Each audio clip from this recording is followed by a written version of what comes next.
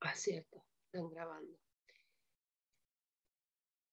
Em, estuve buscando una cédula de traslado de mm, la demanda incidental de ejecución de sentencia. Em, para que ustedes vean cómo es, porque no sé si se los dije, pero bueno, si no lo repetiré hoy.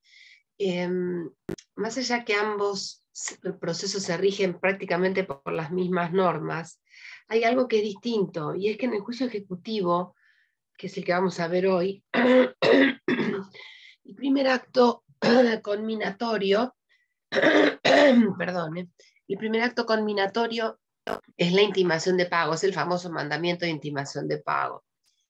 En cambio, en la ejecución de sentencia, lo que se libra no es un mandamiento, ya van a ver ustedes lo que es, es una cédula de venta.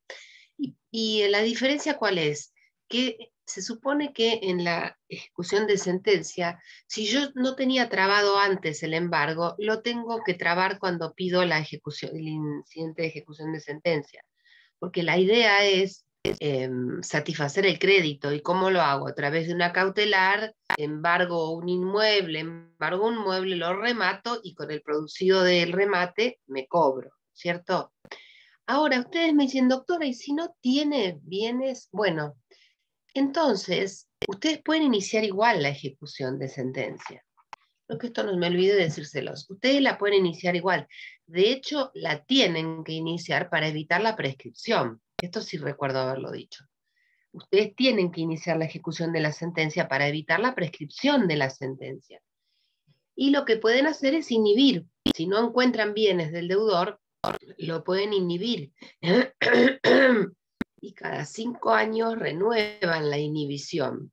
Y por supuesto, activan la ejecución con, lo que puedan. Em, porque la realidad es que si ustedes la dejan morir hasta que aparezcan bienes del deudor, les puede suceder que les prescriba. Al eh, interponerse el incidente de ejecución de sentencia, ustedes estarían eh, interrumpiendo la prescripción. Con mi hijo Patricio hicimos, perdonen, pero estoy afónica, hicimos un trabajo el año pasado, el año, no me acuerdo que nos lo publicaron, muy interesante sobre este tema de la prescripción. Si a ustedes les interesa, yo después se lo subo, de la prescripción liberatoria, cuando, em, cuando tenemos procesos no que tienen sentencia, sino procesos que quedan en stand-by. Vieron que el actor los promueve y nunca los mueve, no los activa. Y, por ejemplo, no ha corrido el traslado de la demanda. Entonces, eh, ¿qué pasa con la prescripción? Porque el Código Civil dice que se interrumpe con la interposición de la demanda. La demanda está interpuesta, pero yo, deudor, no puedo estar 20 años esperando a que el actor active y tampoco me interesa, ¿no es cierto? Pero eh, antes se planteaba que era imprescriptible, eh, digamos, que no había prescripción, que no había cómputo de la prescripción porque estaba interrumpida por la demanda. Es un tema muy interesante, no tiene que ver con juicio ejecutivo ni nada, pero ustedes van a ser abogados y hay pequeños grises en las leyes que son interesantes de, analizar.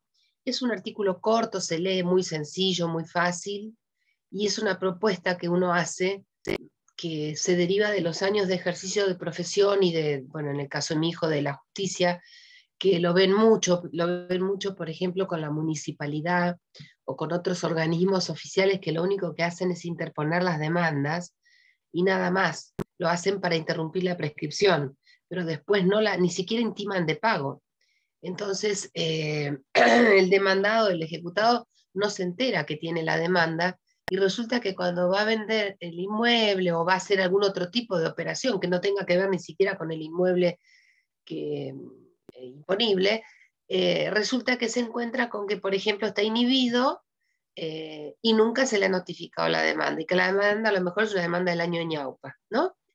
Em, por supuesto que él puede, acusar la caducidad de la instancia, pero ustedes saben cómo es en provincia. Uno acusa la caducidad y hay que intimar para que active, ¿me entienden? Entonces este, se coloca en una posición desfavorable al deudor. Yo se los voy a subir el artículo, tengo que buscarlo, em, pero es un tema interesante. Bueno, yo calculo que ya deben estar todos. Sí, más o menos. Bueno, lo primero que voy a hacer es mostrarles lo que les decía. si el mouse me lo permite. Es la cédula. Esta es la cédula que ordena el juzgado. Eh, a ver, vamos a, bajar un poquito. Me anda como la mona el mouse. Ven, este es el formato de una cédula que estos formatos los brinda la corte, ¿no es cierto? Eh, se pone el número de órgano, el nombre de la persona a la que va dirigida la cédula, el domicilio um, de la persona, eh, la localidad, bueno, en fin, el tipo de domicilio.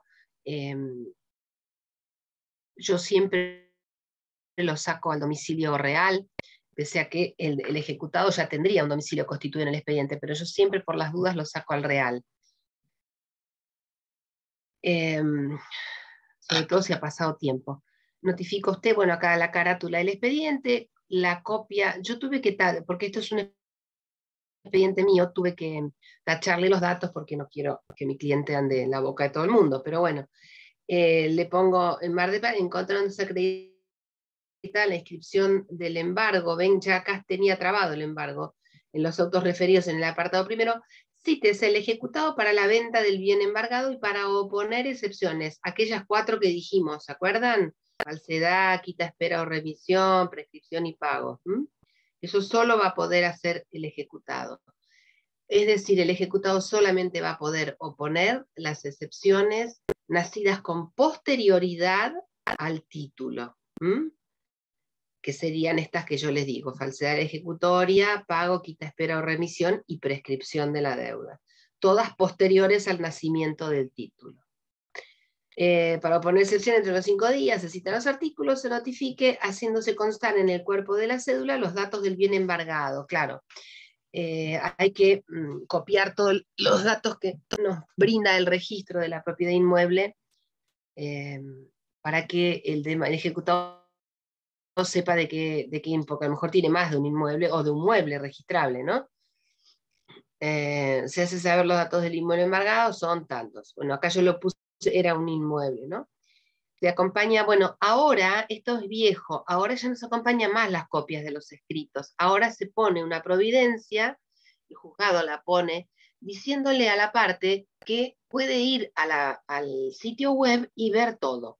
Sea que esto, esto porque esto es anterior a la última acordada. ¿eh? Esto de las copias del escrito y documentación ya no va más. Ahora las partes pueden acceder a la página de la corte y ver todo lo ven en la MEP. Eh, y por supuesto que hay que transcribir los artículos, esto es importante, ¿saben?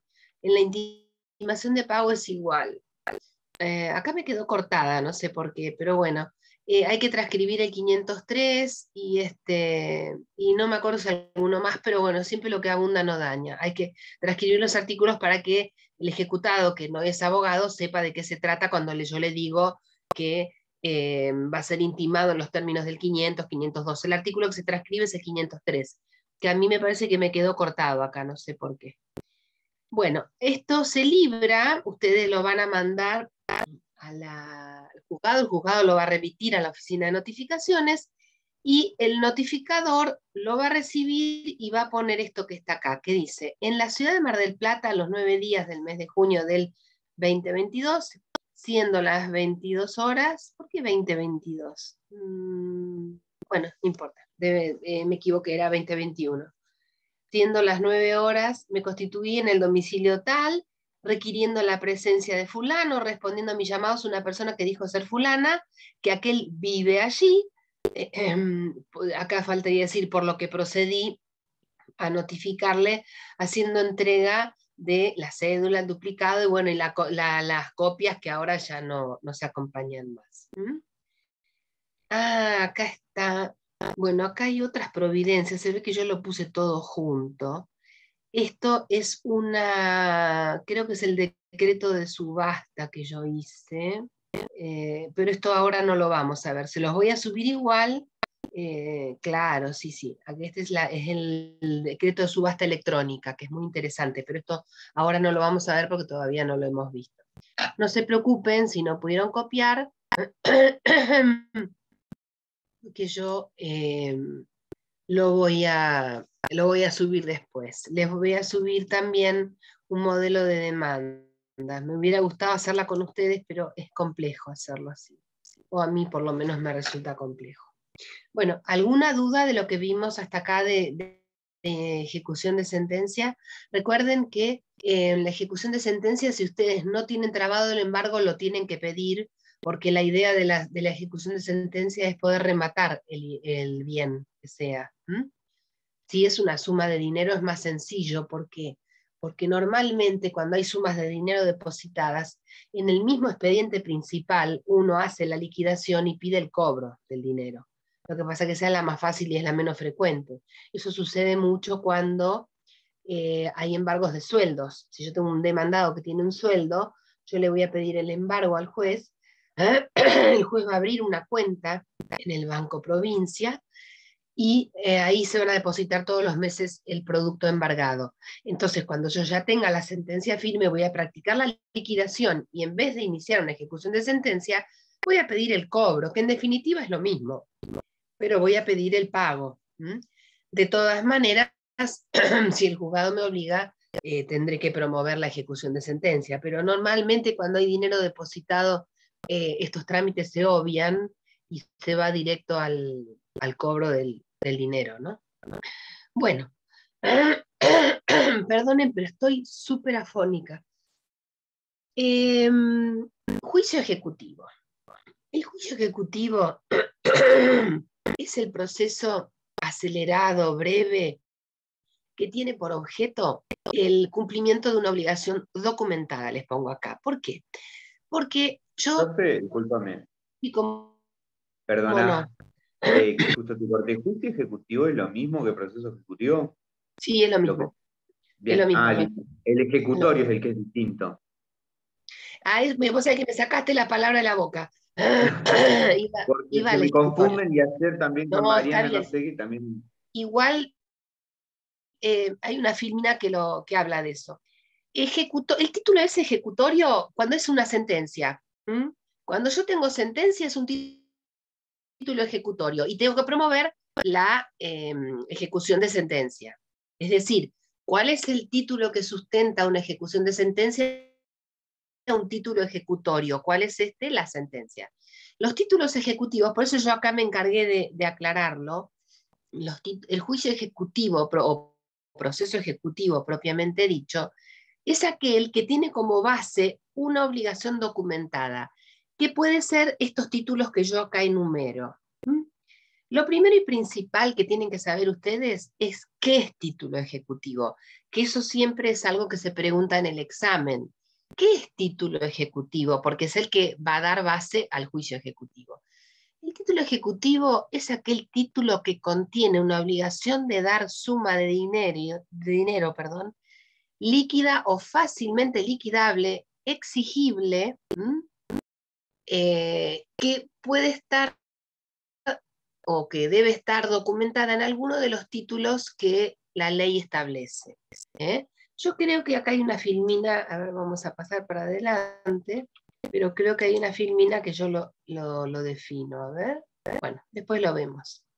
Pero recuerden que el título ejecutivo es aquel que eh, contiene una obligación de dar suma de dinero líquida o fácilmente liquidable y exigible. Em, les pongo acá obligación documentada, es decir, documentada en qué tipo de documento, porque no cualquier cosa es título ejecutivo, es la ley la que le da la fuerza ejecutiva. Tenemos el, el, programa, yo no lo tengo acá, pero el programa hace una clasificación de los títulos ejecutivos.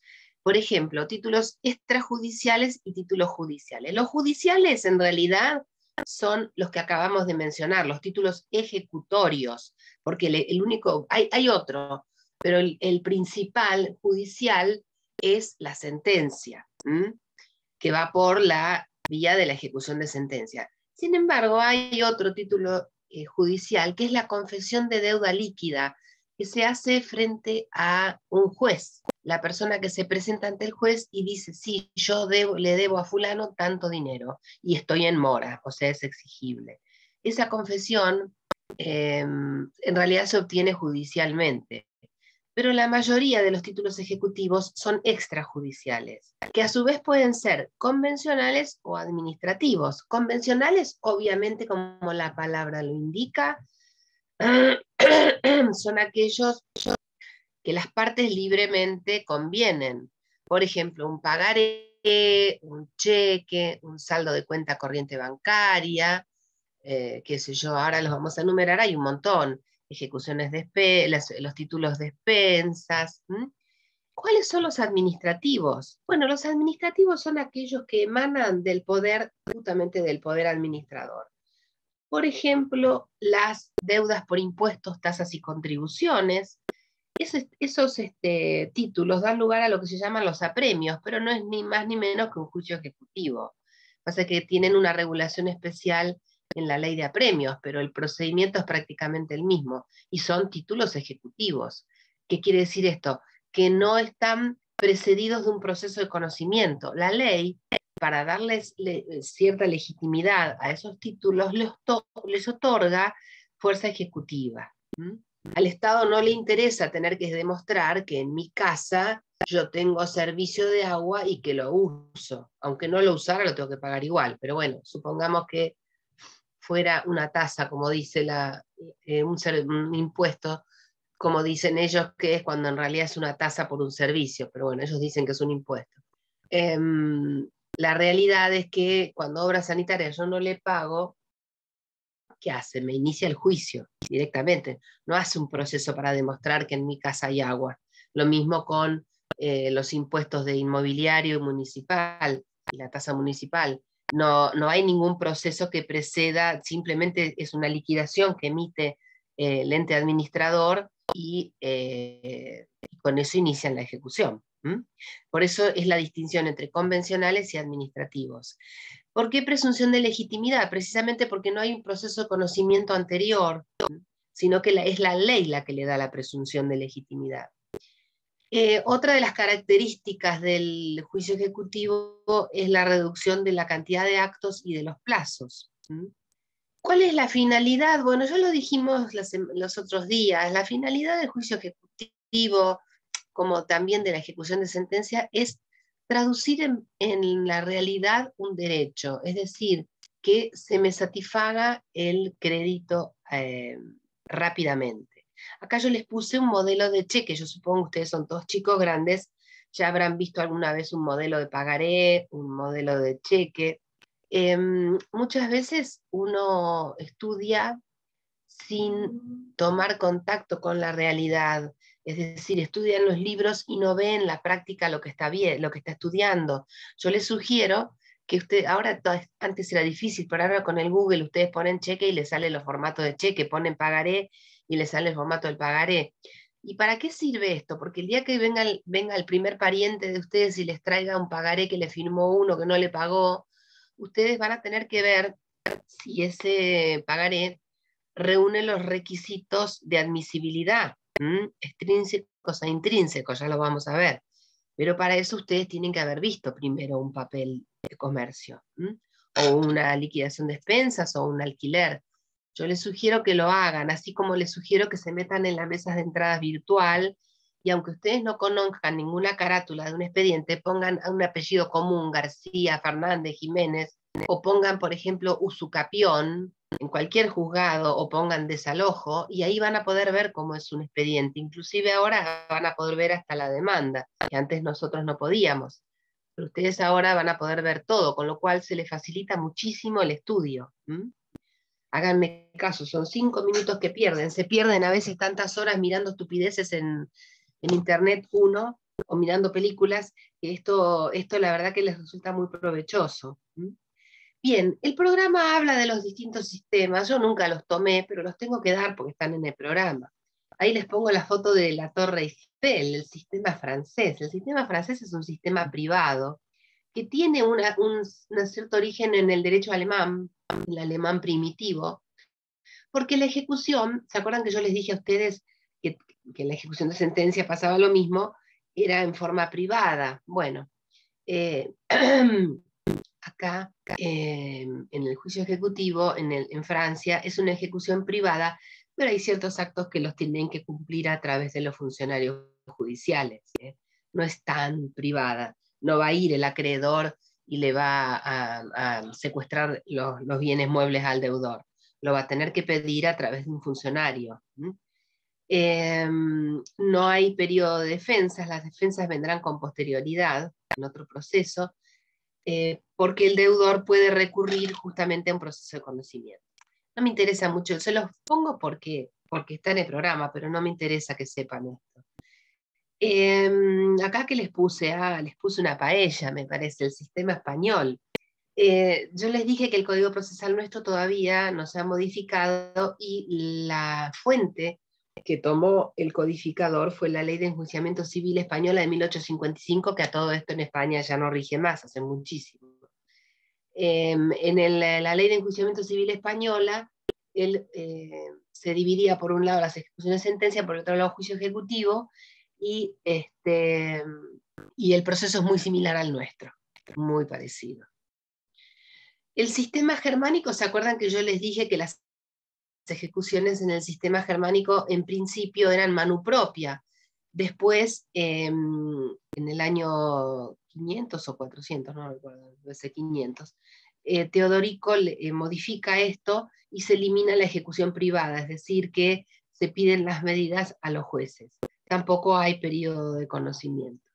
La pizza italiana, el código italiano que tampoco rige más, porque ahora rige el de, eh, bueno, estaba el de 1940 y después se modificó, no recuerdo la última fecha. Eh, reglamenta un proceso de ejecución común también a, las ejecuciones de sentencias y a los juicios ejecutivos. Em, se hace a través de un oficial público y eh, también se le permite al deudor promover un proceso de conocimiento donde pueda debatir sus defensas. Eh, ah, porque acá les puse, las sucesivas reformas introdujeron la, intervención judicial. Sí, porque el código italiano tuvo toda una historia, que no vale la pena contar, pero tuvo mucho que ver la época de Mussolini, en fin. Bueno, ¿cuáles son las características em, del proceso ejecutivo? Primero que tenemos menos actos que en un juicio común de conocimiento. Son muchos menos actos. De hecho, no hay traslado de demanda ni tampoco se puede hablar de parte actora y parte demandada. Nosotros hablamos de ejecutante y de ejecutado. No hablamos de actor y de demandado. Por supuesto que siempre nos equivocamos si decimos actor y demandado, porque lo tenemos en la cabeza, pero la realidad es que en el juicio ejecutivo se debe hablar de ejecutante y de ejecutado. Eh, Em, no hay traslado de la demanda, lo que hay es el mandamiento de intimación de pago. Ahí, si bien ahora ya nos acompañan las copias, antes cuando se acompañaban las copias era como una suerte de traslado de demanda. Ahora es igual, nada más que no acompañamos las copias, le damos la remisión al ejecutado para que se meta en la página y las pueda ver. Las, defensas, por supuesto, son limitadas a las excepciones que establece el código, que lo vamos a ver la semana que viene. Em, solamente las excepciones previstas por la ley se pueden oponer, no se pueden oponer otras. La sentencia del juicio ejecutivo, a diferencia de la sentencia en el juicio de conocimiento, hace cosa juzgada formal. ¿Por qué? Porque está la posibilidad de revisar lo decidido en otro proceso. Ya vamos a ver que esto mm, tiene sus limitaciones no es que podemos volver todo para atrás. Hay cosas que ya, si se debatieron en el Ejecutivo, no se pueden reabrir en el de conocimiento. Pero en principio nos quedamos con esto de que la sentencia del juicio ejecutivo hace cosa juzgada formal.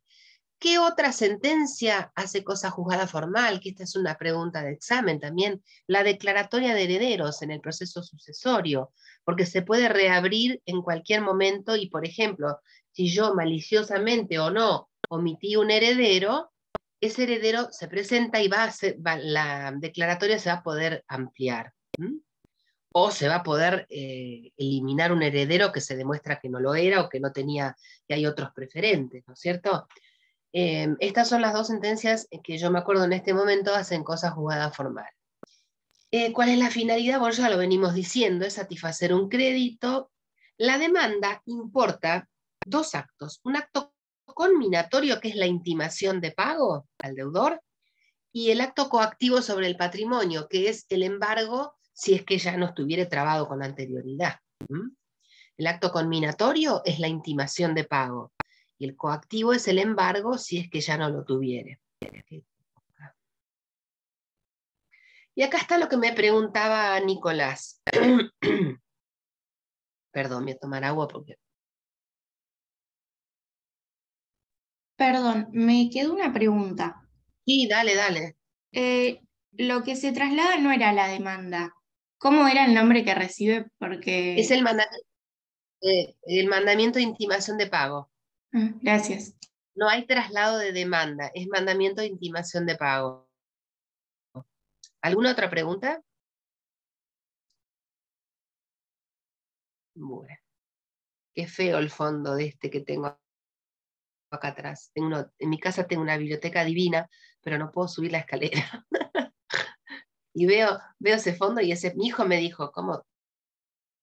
Tenía, este cuarto era de uno de mis mellizos, el, el mellizo del que profesor a la noche. Y estaba lleno de banderines y de porquerías que ganó cuando era chico, ¿no? en, juegos así nomás. Y un día me dice Patricio, pero vos no te fijas lo que hay atrás. la verdad que ni se me ocurrió mirar, mirar atrás de lo que... Este, y se saca todo eso, es un papelón. Digo, ¿cómo? Yo soy de otra generación, los chicos están en esas cosas. Yo me voy al, al contenido de la clase, no me importa el fondo que tengo atrás. Pero los chicos hoy en día se fijan en todas esas cosas. Bueno, acá está lo que me preguntaba entonces Nicolás, de la diferencia entre título ejecutivo y título ejecutorio. El título ejecutorio, ya dijimos, es la sentencia. Entonces, lo que voy a poder oponer yo como defensas son solamente eh, las que son nacidas con posterioridad, nunca con anterioridad, porque esas ya las pude oponer en el juicio de conocimiento que dio lugar a la sentencia, ¿cierto? Yo ya en el proceso de conocimiento expuse todo lo que quería exponer, el juez me escuchó, yo probé o no probé y se acabó. Pasó en autoridad de cosa juzgada formal, eh, perdón, cosa juzgada material y ya no puedo reabrir ese debate. Con esa sentencia yo inicio la ejecución de sentencia. Pero las defensas que voy a poder oponer, parezco tarada, lo repito 20 veces, pero es importante son solamente las nacidas con posterioridad.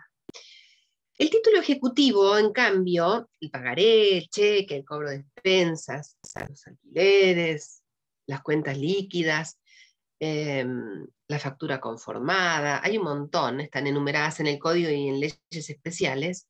Todos esos títulos ejecutivos sí permiten que yo oponga excepciones nacidas al momento de la creación del título o posteriores. Y ustedes me dicen, ¿cómo? Sí, yo les decía, bajen de internet un pagaré o un cheque y fíjense cuáles son los requisitos. Alguno de ustedes dio títulos de crédito seguramente ya. Sabrán de lo que estoy hablando.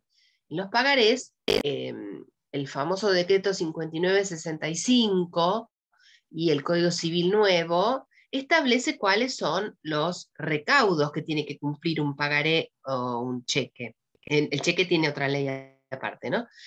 Eh, tiene que tener fecha de creación, lugar de creación, eh, puede, puede ser a la vista o, con vencimiento, con o sin cláusula de protesto, en fin, son un montón de recaudo, la firma, por supuesto, del, del, este, del librador, del deudor, tiene que cumplir un montón de recaudos. Si le falta alguno de esos recaudos, no todos, pero algunos, es posible que yo ponga la excepción de inhabilidad de título, porque ese título nació con un defecto.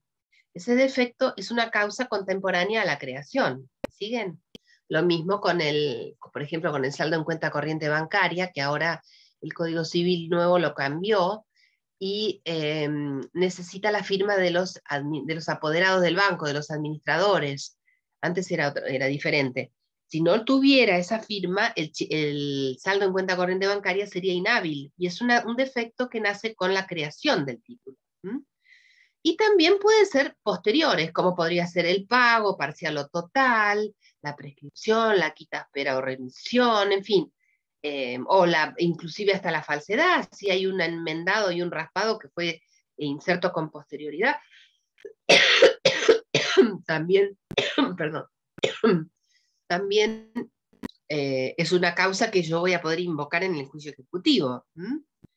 Eh, las diferencias em, es la breve etapa de conocimiento que tiene el juicio ejecutivo que el ejecutorio no la tiene, el ejecutorio tiene las defensas más limitadas.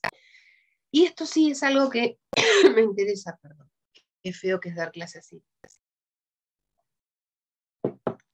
Me interesa que sepan los requisitos de la pretensión ejecutiva. Tenemos requisitos extrínsecos, que son los presupuestos procesales.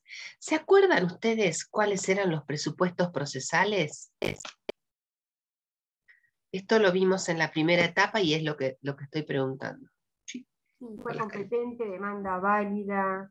Muy bueno, Guillermina. Seguro que te tocó en el examen y lo fuiste a mirar. Capacidad, Igual hay que saberlo, obvio. Es que es muy importante saberlo y muchos estudiantes no lo saben. Em, capacidad, competencia y forma. Algunos también hablan de litispendencia, pero em, yo entiendo que, puede llegar a formar parte del presupuesto procesal de competencia, es un tema mío, ¿no?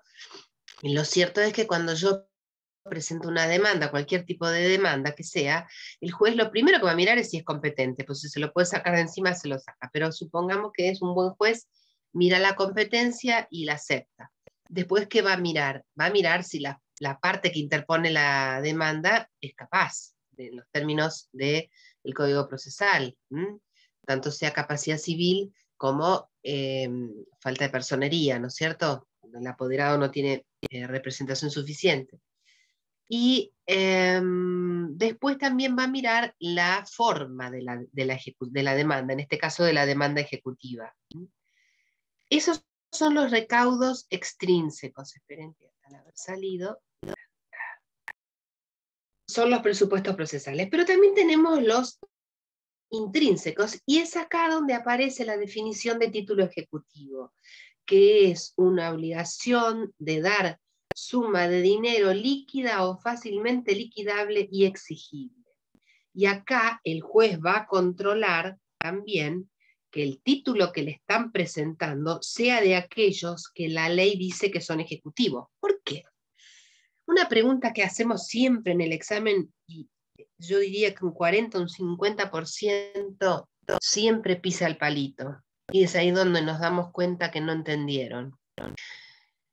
Yo tengo un problema con mi vecina. Pobre, mi vecina tengo local. Eh, un problema con mi vecina, ¿no?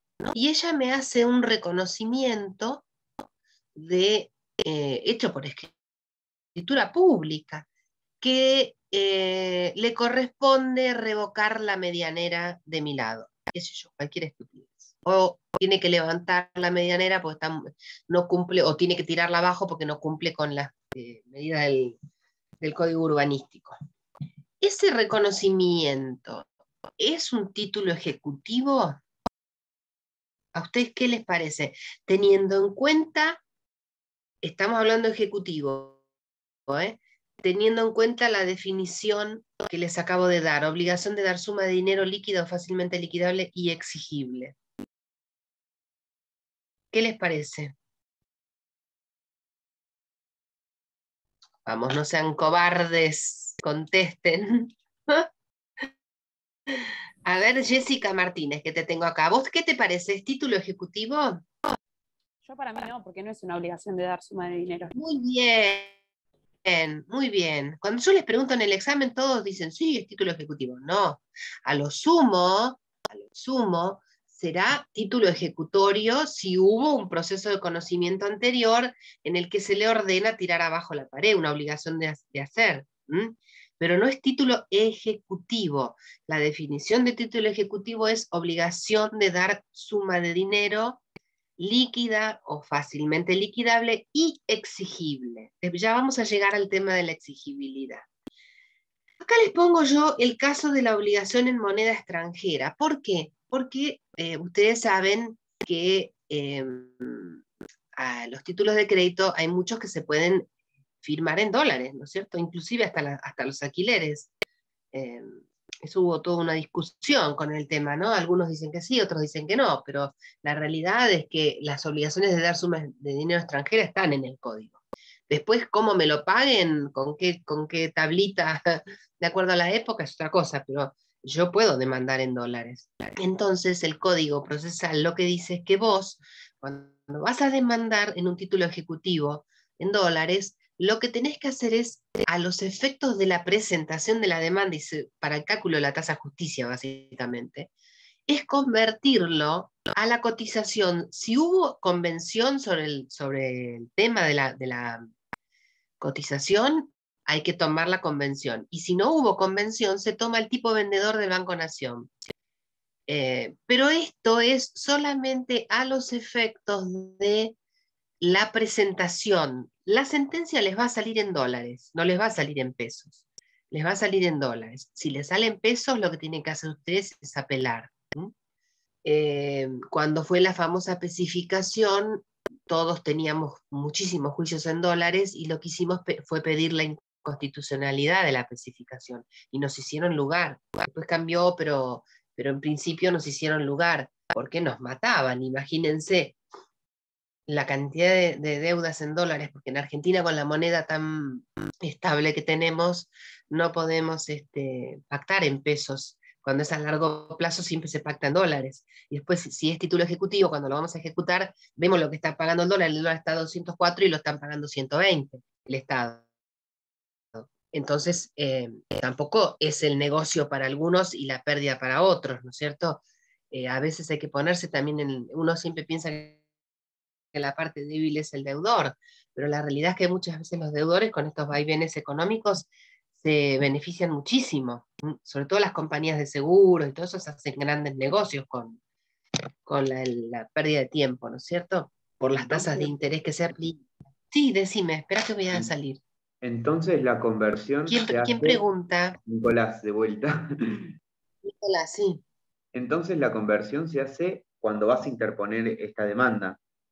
Exacto, cuando vos interpones, esto que estoy diciendo está en el código, en el 518. Sí, está en el código y dice también lo del Banco Nación y eso. Exacto, porque primero vas a lo que, a lo que, a lo que pactaron las partes. Yo les digo, no sé si ustedes vieron alguna vez un contrato en dólares, pero en Argentina desde desde el 75 con el Rodrigazo, cuando se empezaron a pactar, antes no se pactaba en dólares, pero a partir del Rodrigazo se empezó a hacer los contratos en, dólares y se pone una cláusula enorme que dice que si no hubieran, em, si no hubieran eh, en billete, ¿no es cierto? Pagame, a mí pagame en billete, no en pesos. Pero como el Código Civil dice que se pueden cancelar las obligaciones de moneda extranjera en pesos, entonces las cláusulas que se ponen, y se ponían ya en aquel momento, es que si, si me la vas a pagar en pesos, me vas a tomar la cotización de la Bolsa de Nueva York, o de, hay mil fórmulas, ¿no es cierto?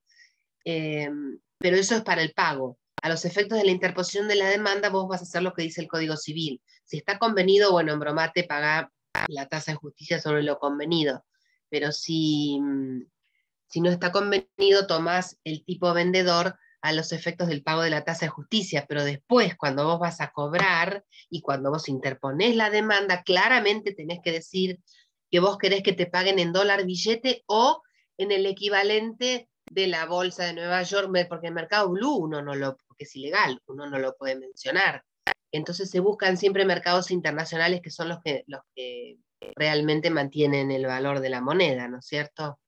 Em, no sé si me, alcanzan a entender, tampoco es el tema mío ponerme a explicarles todo el tema de moneda extranjera, pero em, la realidad es esta, sí, la realidad es esta, viste, que nosotros tratamos de preservar los créditos de los clientes como podemos, porque el Código Civil, lamentablemente, en la época de Menem em, se había modificado con la ley de convertibilidad y se podía exigir el pago en dólares, pero después cambió Em, hubo toda una gran discusión sobre el tema.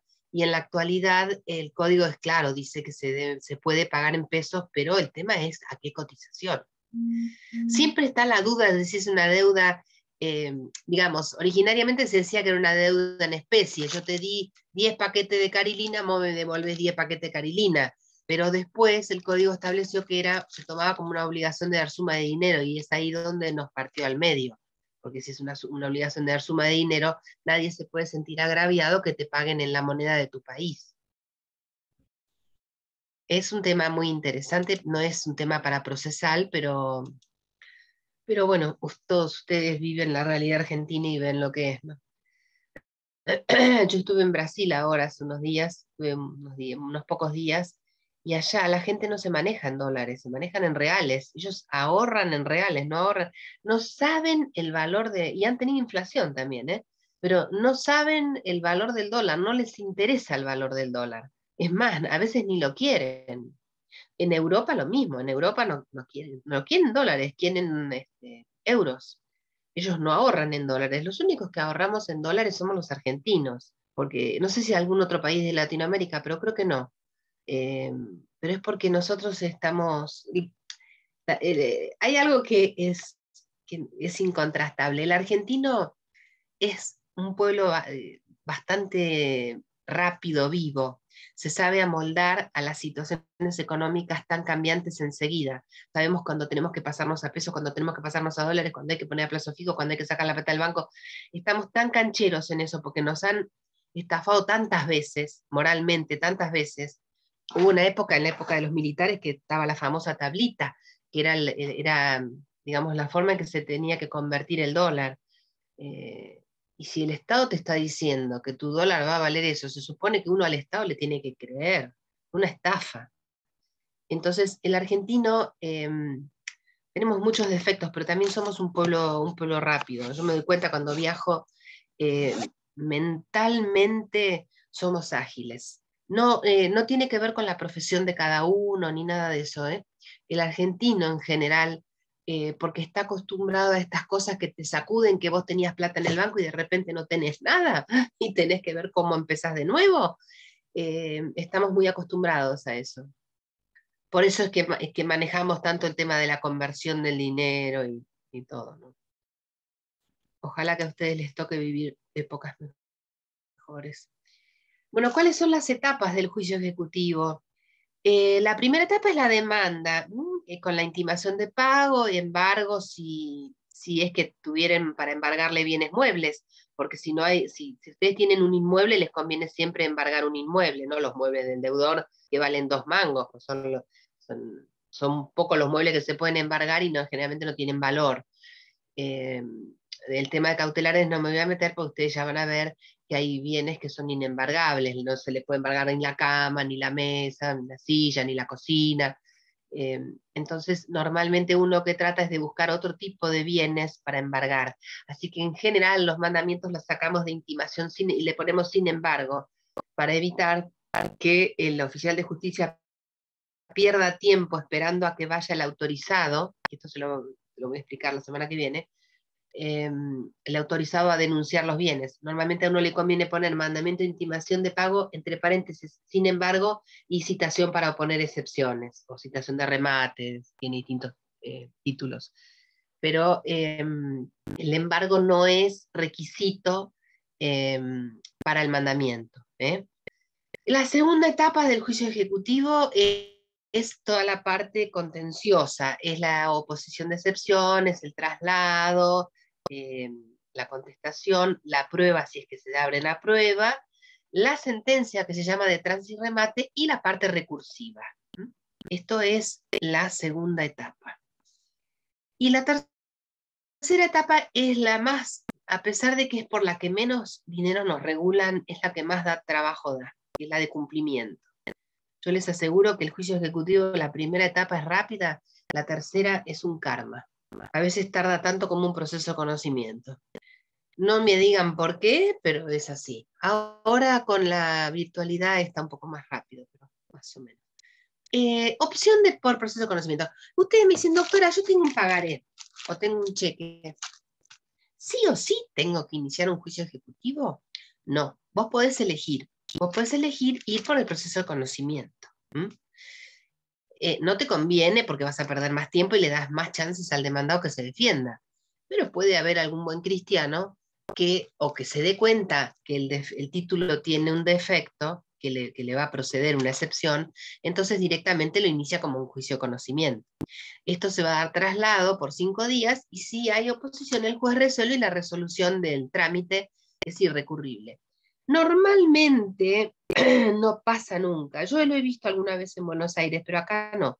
¿Por qué? Porque al ejecutado le conviene un proceso de conocimiento. Al ejecutado le conviene por dos razones. Primero, porque va a ganar tiempo. Y segundo, porque se va a poder defender mejor. Con lo cual, es difícil que un ejecutado se oponga. Pero puede haber algún ejecutado que sepa eh, que, que, tiene chances de, ganarlo el juicio y que ahí se acaba, eh, porque si no después viene el proceso ordinario posterior, ¿no?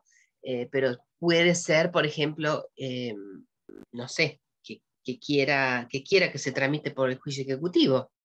Suponemos, por ejemplo, si la deuda está prescrita, pues se, presenta, se opone y te mete la, defensa de prescripción y se acabó ahí el proceso. Eh, bien, proceso de conocimiento posterior, esto es otra cosa. Aquello es la elección que tiene el ejecutante de ir por la vía de conocimiento o por la vía de ejecución para el cobro de su crédito. Esto es cuando ya hubo un juicio ejecutivo y se promueve un juicio de conocimiento posterior. Como dijimos, el juicio ejecutivo tiene solamente las defensas, es decir, se puede el ejecutado defender solamente con la interposición de las defensas que están en el Código Procesal, no otras, no puede interponer cualquier cosa. Ah, se ha admitido a veces, por ejemplo, el tema de la especificación, alguna cosita así muy puntual, pero en general no se admite nada más que esto. No se admite eh, hablar del abuso de firma en blanco, ni indagar la causa de la obligación, nada de eso se puede debatir en un juicio ejecutivo. Em, entonces, ¿para qué sirve el ordinario posterior? Bueno, sirve para poder oponer todas las defensas que no estaban eh, permitidas en el juicio ejecutivo. Lo que no procede es esto que les pongo acá, la reapertura de aquellas cuestiones que se opusieron en el juicio ejecutivo y que fueron debidamente em, planteadas y sustanciadas. Si yo, por ejemplo, planteé una excepción eh, cualquiera, produje prueba y el juzgado me la rechazó, yo no voy a poder reabrir en un juicio ordinario posterior esto, porque esto ya fue debatido y probado en el juicio ejecutivo. Ahora, si mi defensa se basa en una cuestión causal o en un abuso de firma en blanco, aunque me robaron el cheque, eso sí lo voy a poder plantear en el ordinario posterior, porque esa defensa no me fue permitida a mí en el juicio ejecutivo. Espero ser clara.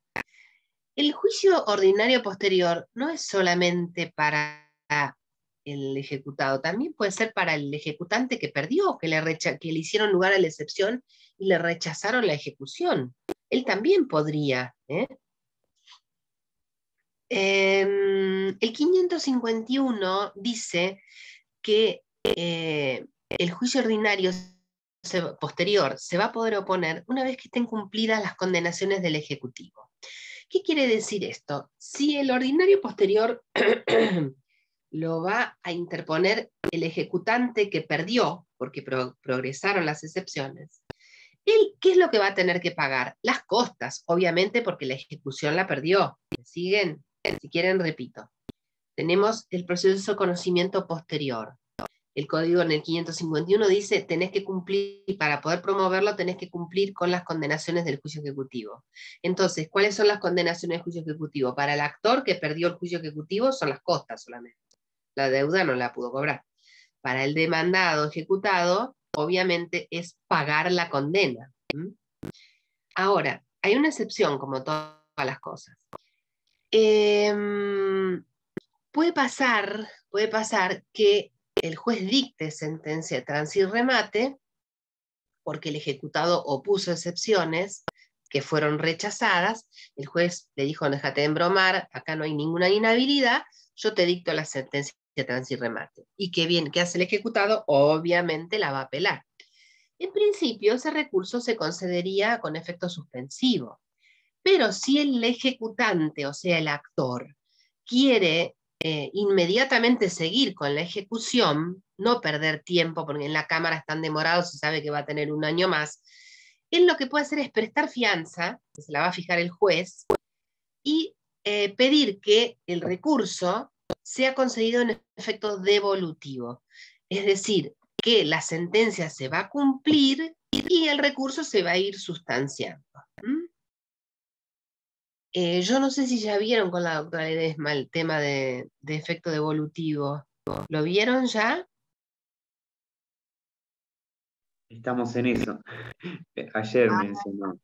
Ayer ah, vimos algo algo de, de- evolutivo. Bueno, porque en el efecto devolutivo, cuando se trata de la sentencia, lo que es apelada, se manda el expediente a la Cámara y se dejan las piezas necesarias en primera instancia para poder ejecutar la sentencia.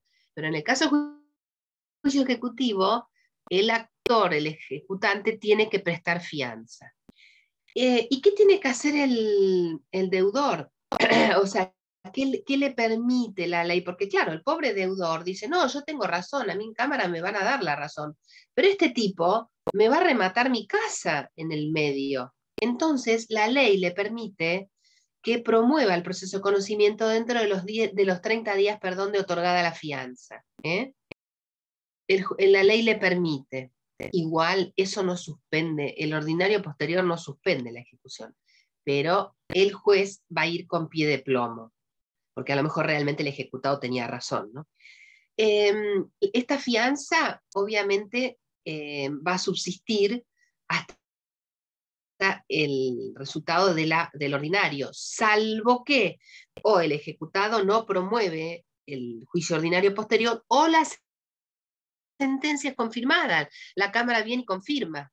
Entonces, en esos casos eh, se cancela la fianza.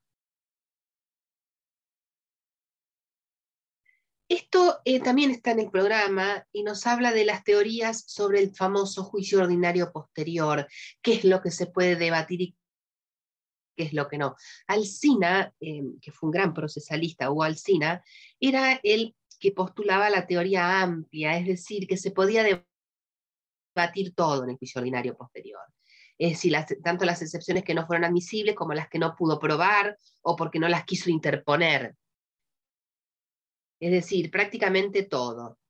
Eh, aquí dice, acá interpuesto por ejecutante cuando demuestra la inexistencia del hecho alegado por el ejecutado que dio lugar al rechazo de la ejecución. Ah, está bien. Em, cuando cuando el, ordinario es interpuesto por el ejecutante, a esto se refiere, em, él puede demostrar que el hecho que alegó el ejecutado, que fue sustento de su excepción, era un hecho inexistente. Son pocos los casos, pero, pero puede darse. Em, y en el caso del ejecutante, él decía solo cuando las excepciones se declararon de puro derecho. Bien. Sin embargo, es lo que ustedes tienen que saber, el criterio que prevalece es el restrictivo. ¿Por qué? Porque si bien la sentencia en el juicio ejecutivo hace cosa juzgada formal, todas aquellas cuestiones que pudieron haber sido interpuestas o que fueron interpuestas y fueron rechazadas, o aquellas en las que yo pude ofrecer prueba u ofrecí prueba y fui declarado negligente, o sea, todo, todo aquello que sea imputable al ejecutado, eso no lo voy a poder plantear en el ordinario posterior. ¿Siguen? Em, todo aquello que yo pude plantear y no planteé, no lo puedo plantear en el ordinario posterior. Sí, aquellas excepciones o cuestiones que estaban prohibidas. Si, por ejemplo, yo firmé un pagaré en blanco y el ejecutante le agregó un par de cerillos a la suma, eso no lo puedo plantear en el juicio ejecutivo, pero sí lo puedo plantear en un juicio ordinario posterior. ¿m? Hay cosas, por ejemplo, el robo de los documentos también. Eh, normalmente cuando es así, lo que se hace es una causa penal y se notifica al juzgado, al, juez del Ejecutivo que hay una causa penal y se la pide como prueba y bueno, la cuestión que se hace un chicle y no se cobra. Cuando hay una causa penal es muy difícil que se siga adelante con un juicio ejecutivo. En realidad no debería paralizarlo, pero eh, eh, en cierta medida uno podría llegar a decir que hay una prejudicialidad. Uno podría llegar a decir, no, no quiero aventurarme porque no es un tema, es un tema para pensarlo, no para decirlo en una clase. Pero normalmente cuando hay una denuncia penal, ahí la cosa, la cosa cambia. Pero cuando es este, un abuso de firma en blanco o eh, un título obtenido con violencia o intimidación, que yo necesito probarlo en un juicio ordinario posterior, eh, lamentablemente el juicio ejecutivo va a seguir adelante. Eh, bueno, esto es más o menos lo que ya les dije. Están muy completos estos PowerPoint porque fueron hechos con el comienzo de la pandemia, cuando no teníamos material ni teníamos manera de hacerle llegar tampoco material, eh, porque la Secretaría de Impresiones estaba cerrada. Entonces yo traté de hacerlos bastante completos. Bueno, ¿cuáles son la clasificación? Eh, alguno de estos ya hemos mencionado, pero hay una que sí establece el programa, que es la de títulos completos e incompletos. Los títulos completos son aquellos que contienen la obligación de dar una suma de dinero líquida eh, y exigible. O sea, no tenemos que hacer nada porque ya lo tenemos claro en el título. Los incompletos son, en cambio, aquellos que le falta un elemento para ser considerados títulos ejecutivos. Por ejemplo, la exigibilidad o el cumplimiento de una condición, por ejemplo. Entonces, eh, estos son títulos incompletos. ¿Cómo se subsanan los títulos incompletos? A través de la preparación de la vía ejecutiva. Es una, eh, lo vamos a ver ahora más adelante. Eh, cuando yo estoy frente a un título incompleto, como por ejemplo un alquiler, la ejecución de un alquiler, yo tengo que preparar la vía ejecutiva. Y hay pagares que también le falta eh, algún elemento y yo necesito preparar la vía ejecutiva. O, por ejemplo, un reconocimiento de deuda de dinero que eh, está hecha en instrumento privado. Tengo que citarlo al, deudor a que reconozca la firma. Tengo que preparar la vía ejecutiva. Eh, los títulos judiciales y extrajudiciales ya lo dijimos, los causados e incausados, esta es una definición más de, tipo de derecho comercial que procesal. Los causados son aquellos que tienen en el, dentro del mismo título eh, la causa de la obligación, como puede ser, eh, por ejemplo, un reconocimiento de una suma de dinero em, por compra de mercaderías, por ejemplo, y se hace un instrumento público para hacerlo más fácil o un privado con firma certificada, y, o no, privado, pero en general es así, donde se dice, yo le vendí la reposera y la, la sombrilla a la doctora, que valía tantos pesos, y ella reconoce que me los debe. Bueno, este es un título que tiene la causa. Incausados son los que no dicen nada.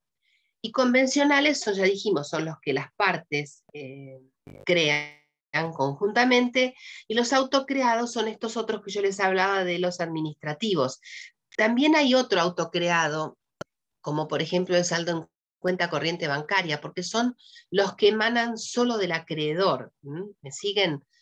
Eh, yo tengo una cuenta corriente bancaria o una cuenta corriente mercantil, por ejemplo, y em, bueno, no pago, el banco me la cierra y emite el saldo. Es un título autocreado, lo crea el propio acreedor. ¿eh? Por eso se dicen autocreados.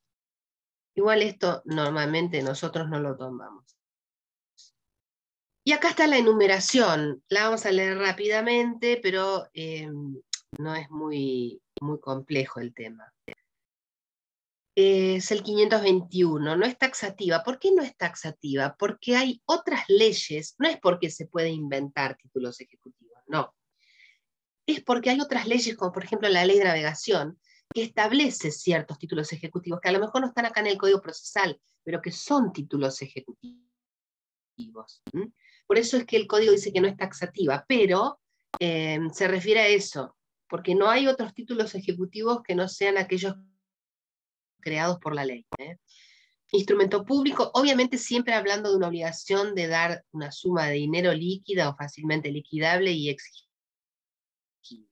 instrumentada en un instrumento público, documentada en un instrumento público, en un instrumento privado suscrito por el obligado, reconocido judicialmente o con firma certificada. También, eh, ¿por qué pongo reconocido judicialmente? Porque puede ser un reconocimiento de deuda que no tenga firma certificada. Entonces yo tengo que presentarlo a la justicia y preparar la vía ejecutiva. Y lo tengo que llamar al deudor para que venga a a decir si la firma le pertenece o no. Eh, la confesión líquida y exigible prestada judicialmente. Ven, acá tienen un título también judicial, porque esto se hizo judicialmente. La cuenta aprobada o reconocida, acá yo les tengo que explicar que esta no es la cuenta que emana del proceso de rendición de cuentas, que no sé con quién lo ven. Eh, porque la deuda que emana de la rendición de cuentas va a ser eh, ejecutada a través de la ejecución de sentencia, no de un título ejecutivo. Esta cuenta aprobada reconocida es la cuenta corriente mercantil, básicamente. La que lleva el almacenero eh, al que ustedes van y le compran, bueno, más o menos así. Un poquito, a lo mejor un poquito más elegante, pero en definitiva es una cuenta corriente mercantil donde la esto se da mucho en los corralones de materiales, la gente abre una cuenta y va el albañil y va sacando lo que necesita para la construcción. Cuando se empieza a, abultar la suma, obviamente la empresa te va a llamar y te va a decir, mira, tenés tantos pesos de deuda, venía a pagarlo. Si vos no vas a pagarlo, ¿qué va a hacer? Va a iniciar el juicio, pero te va a eh, citar para que vos reconozcas. Em, la letra de cambio, el vale, los vales la verdad que ni existen. El pagaré, el cheque, la factura conformada, la constancia de la saldo de cuenta corriente bancaria, cuando tuvieran fuerza ejecutiva por ley. La tienen todos porque todos están enumerados en la ley. El crédito de alquileres eh, y los demás títulos, como les digo, hay, este, hay títulos como los warrants, hay un montón en la ley de navegación en este momento, me acuerdo, pero hay muchos títulos ejecutivos. Las expensas que no están acá y también son. Bien, y llegamos ya prácticamente al eh, final. Déjenme que mire a ver si me tragué algo. Esto está. Esto más o menos está. Profesora, ¿le puedo hacer una consulta? ¿Cómo no? Espera que dejo de compartir y te veo porque no te veo. ¿Quién es? Eh, Mariano. Mariano, ¿dónde estás? Acá, dale. Eh, hace unos instantes usted hizo referencia a que en el, proceso ejecutivo existe una breve etapa de conocimiento. En el ejecutivo, no en el ejecutorio. ¿Eso se relaciona con la, con la preparación de la vía ejecutiva? ¿Tiene que ver con eso? No, No, no, con las excepciones. Con las excepciones, bien. claro, es una pequeña etapa de conocimiento. Con las excepciones, bien. Y respecto de los títulos incompletos, obviamente siempre hablando de los títulos ejecutivos, los ejecutorios son siempre completos. Eh, claro, porque la sentencia es difícil que una, salvo que no sea exigible, pero, pero tampoco, porque yo estoy hablando de proceso ejecutivo, no de ejecución de sentencia. Los títulos ejecutorios van por la ejecución de sentencia. Perfecto. Gracias. Vamos a volver para atrás. ¿Alguna pregunta más? Pregunten, chicos, que me aburro de hablar una hora y media. ¿Todo tan claro es? Bueno. Por eso no me gusta dar clases por Zoom a mí, porque me resulta muy tedioso hablar una hora y media. Preparación de la vía ejecutiva. Cuando preparamos la vía ejecutiva frente a un título incompleto. Es un título, lo que es título ejecutivo, pero que le falta algo para que le dé fuerza ejecutiva. Eh, por eso no, traen aparejada la ejecución. Requieren ser complementados o perfeccionados e inclusive constituidos mediante ciertos trámites. Como por ejemplo lo que les decía de la cuenta corriente mercantil. ¿Cómo se hace? A través del reconocimiento de la firma. Eh, ya vamos a ver que en el caso de los alquileres hay una variante, pero en principio todos estos títulos se, eh, se preparan citando al deudor para que venga a reconocer o desconocer la firma. Si desconoce la firma, bueno, obviamente el ejecutante va a tener que pedir que se produzca una prueba pericial caligráfica. Si tenemos elementos, esto lo vimos cuando vimos prueba pericial, si tenemos elementos indubitados, es decir, si por ejemplo el deudor, yo sé que tiene la firma registrada en la escribanía o tiene la firma registrada en el banco, en ese caso, yo tengo elementos indubitados. Entonces le voy a decir al perito calígrafo, señor perito, vaya a la escribanía de Pirulo y pídale que le exhiba el documento donde él insertó su firma, porque el perito la va a tener a la vista cuando haga la pericia caligráfica. No sé si alguna vez vieron una pericia caligráfica, eh, son muy interesantes. Em, hay diferencias, pero bueno, básicamente el perito lo que hace es eh, como una foto grande de la firma y va bien y compara los caracteres. Es muy interesante el, tema de la pericia caligráfica y hay muy pocos peritos calígrafos en Mar del Plata. Cada vez hay menos. Es una, es una profesión que tienen trabajo y sin embargo hay muy pocos. En Buenos Aires sí hay. Em, son muy, pero muy interesantes, ¿no? Ahora, ¿qué pasa cuando no tenemos elementos indubitados? Bueno, cuando no tenemos elementos indubitados, lo que se hace es citar a formar cuerpo de escritura al deudor, bajo apercibimiento de que si no comparece le va a quedar reconocida la firma. Entonces, em, va a venir el deudor y va a venir el perito y le va a decir, escriba Marcela diez veces, escriba Jiménez diez veces, vuelva a escribir Marcela diez veces, vuelva a escribir Jiménez diez veces. Eh, a la decimocuarta vez el tipo ya empieza a escribir como escribe normalmente. Entonces, em, el perito va a poder efectuar la pericia. Pero son básicamente las dos, este, las dos formas que hay, ¿no es cierto? Em, bien. Yo ni, leo las filminas y digo lo mismo. ¿Qué pasa? Eh, bueno, si, eh, si, la firma, digamos, si yo preparo la vía, lo notifico por cédula al deudor que tiene que venir a reconocer, y él viene y la reconoce, ya me queda lista la vía ejecutiva. Si, si no viene, me queda eh, un reconocimiento ficto, también me queda preparada la vía. Si viene y la desconoce, tenemos que hacer esto de la pericia. ¿Qué pasa si de la pericia surge que el tipo mintió, que la firma le pertenece?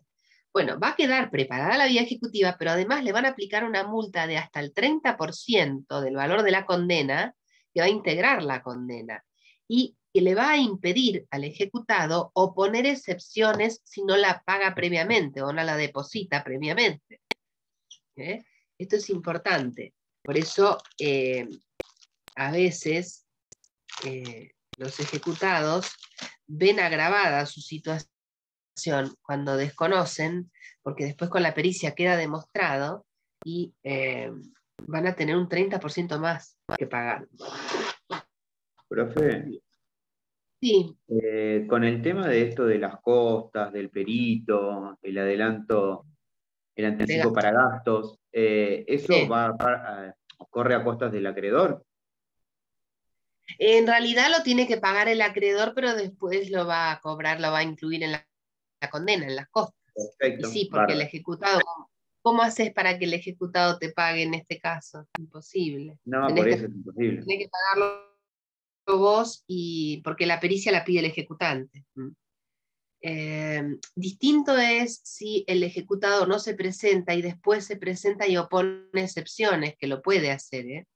Eh, ahí, tiene, ahí la carga de la prueba recae sobre el ejecutado. Si el ejecutado opone, por ejemplo, de, em, la falsedad, eh, tiene que, tiene, él tiene que hacerse cargo de todo, porque ahí es ya es carga de la, carga de la prueba de las excepciones corresponde a quien, se, quien excepciona.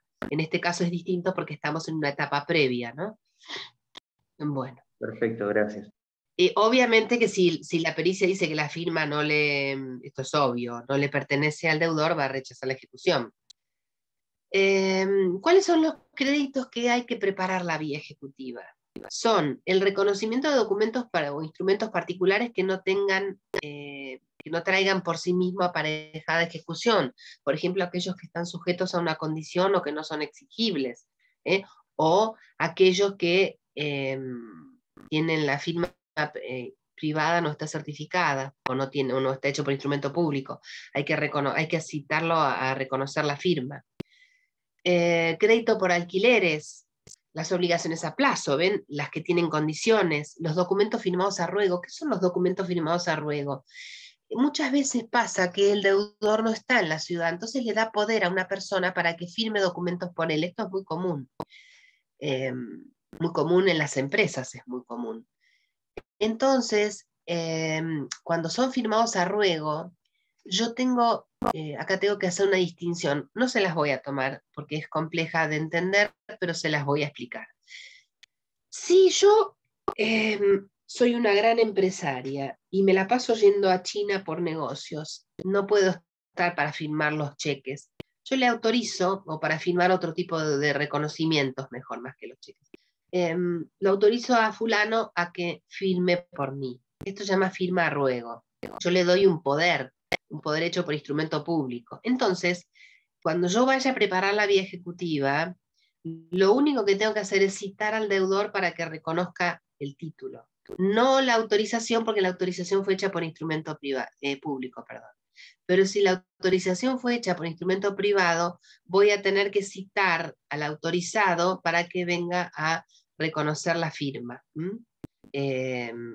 Esto yo se los explico así, pero no, no, hagan caso porque jamás en la vida se me hubiera ocurrido a mí preguntarle esto a un estudiante, porque esto es más de, títulos de crédito que de...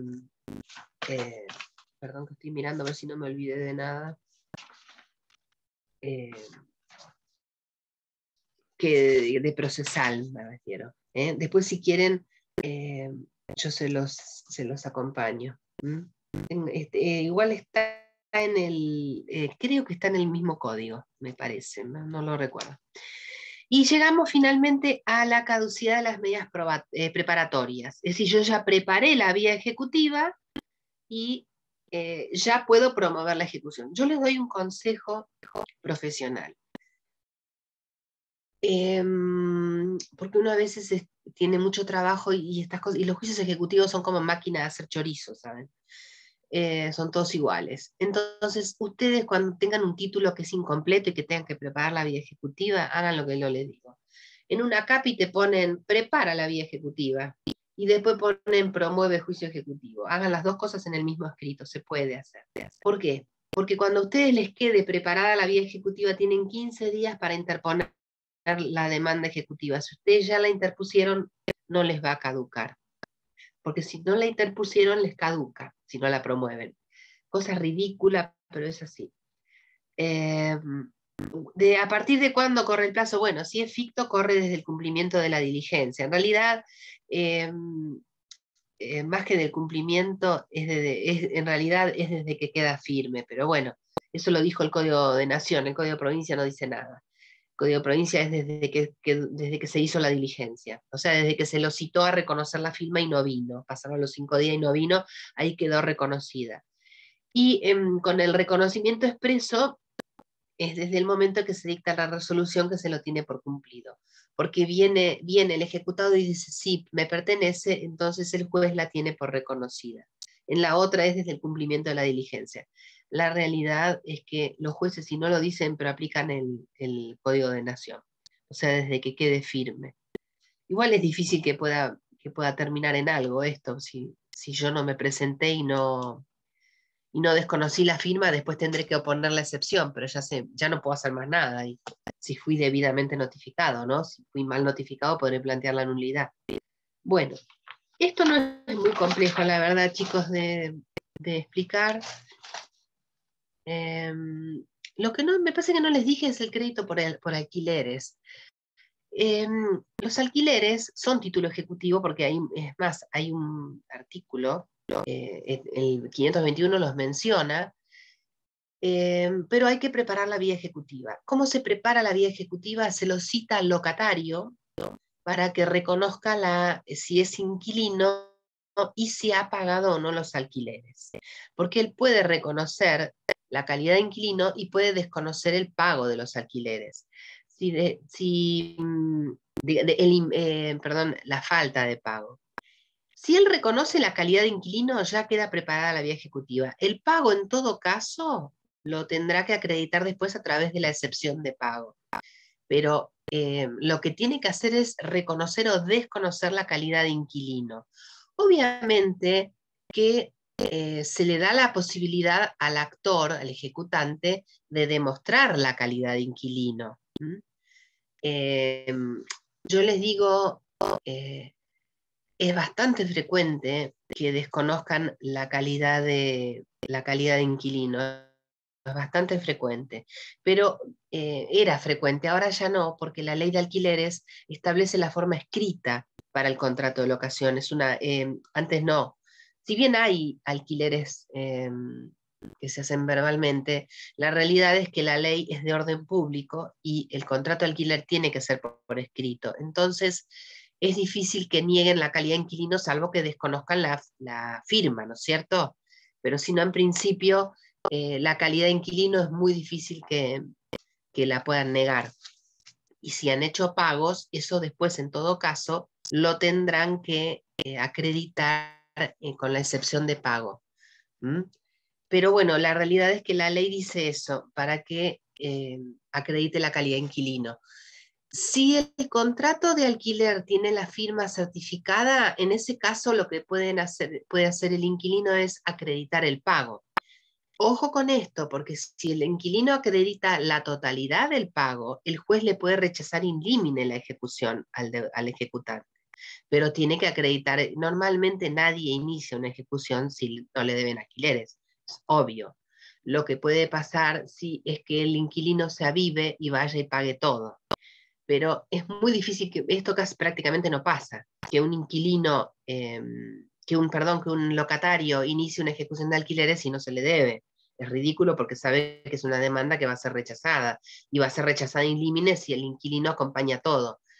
Lo que no les dije tampoco es qué es lo que incluye el alquiler. El alquiler no es solamente el canon locativo, también puede ser, y de hecho lo es, que cuando se hace la locación se incluyan los servicios de luz y gas, por ejemplo, y obras sanitarias. Eso también integra el, título ejecutivo. ¿eh? Es importante que lo sepan. Em, todo lo que sea servicios y tasas integran el título ejecutivo. Hay algunos que integran la multa también, está discutida la cláusula penal, no vale la pena ponernos a hablar de esto acá, pero sí tengan presente que es el alquiler y los, eh, los demás este, tasas y servicios que están incluidas en el precio del alquiler.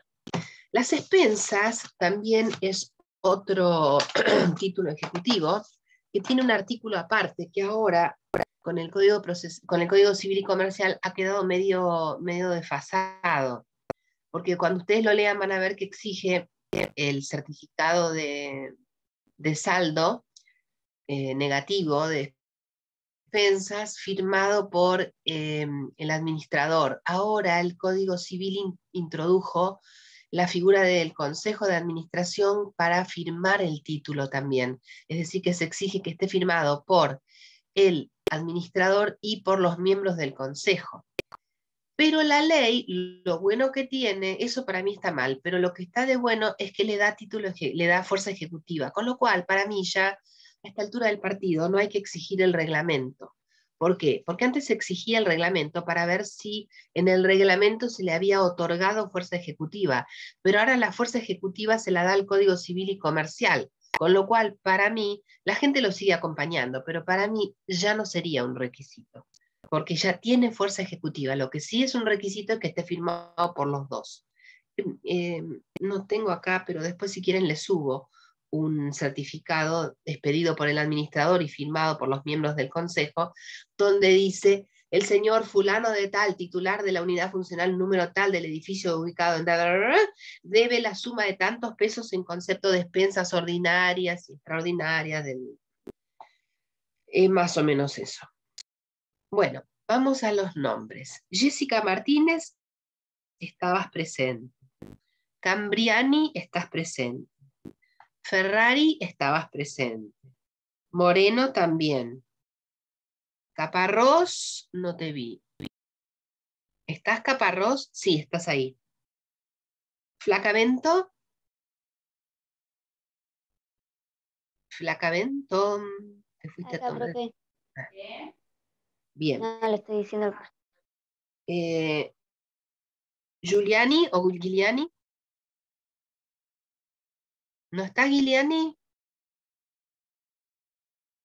Sabatini. Sí. Acá, profe. Sí, sí, ahí te vi. Pesolano. ¿Pesolano no estás? Ah, sí. Decime, Luciana, ¿a vos te tomé yo o te tomó la doctora Ledesma? No, me tomaron ellas. Ah, está bien. ¿Y masa? Presente. ¿Dalezón? ¿Dalezón no está? ¿Ceronos? Sí. ¿Ojeda? Profe, sí está, pero no tiene, está en la computadora de escritorio. Rosario. ¿Dalezón? ¿Qué puso? Ah, puso algo en el, el chat, no lo vi. Ojeda presente, profe. Está bien, acá estoy. Bien. Ojeda presente, bien. Dale, son presente. Eh, ¿Puede ser Lara? No me entiendo ni mi letra. ¿Lara? Creo que me pusiste a mí, Lara, pero soy Dávila. Lara es mi segundo nombre. A ver. Ah, claro, claro. Te pongo acá. Bien. Eh, Hansen, Presente. eh, ¿vives? ¿Vives o no vives? No está. Juan, Presente, profe. Miranda, Presente. Beades, Presente. ¿a vos? Sí, te tomé yo, eso me acuerdo. Tengo una memoria, la doctora Ledesma es impresionante cómo se acuerda de todo. Yo soy un desastre. Martín, Presente. eh, Weig, Presente, profe. Marchetti,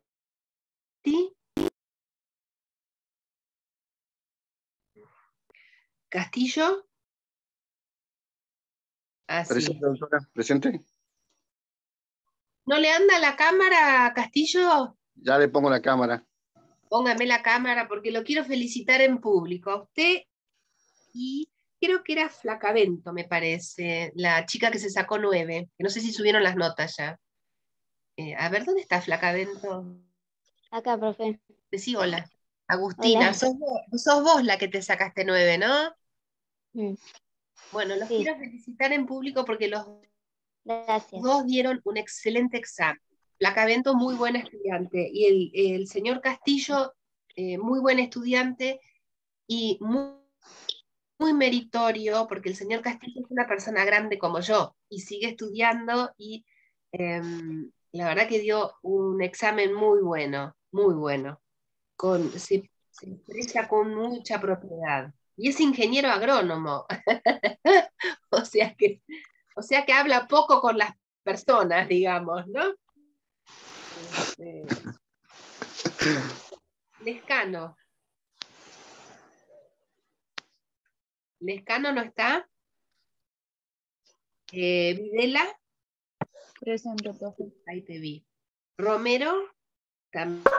Presente acá, profe. Dávila te acabo de poner el presente. ¿Me olvidé de alguno? Sí, de mí. Amaya Facundo. Amaya, mira, sí, vi, pero no. Y la semana pasada también viniste. No sé. Sí, sí.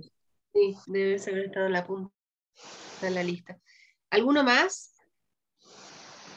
Bueno, listo. Eh, nos vemos el martes, chicos. El otro jueves tienen con la doctora Rieta. Conmigo van a tener los martes, de acá hasta fin de la cursada, y el último miércoles, eh, que es el que me va a facilitar la doctora Ledesma, salvo que haya algún problema y lo necesite. Bueno, nos vemos. ¿Tienen alguna duda, algo que preguntar? ¿Se aburrieron? ¿No tienen nada que preguntar? Bueno, no- nos vemos entonces el martes que viene, chicos. Gracias, eh, gracias por Gracias. aguantarme. Abrazo. Gracias. Buen día para todos. Gracias.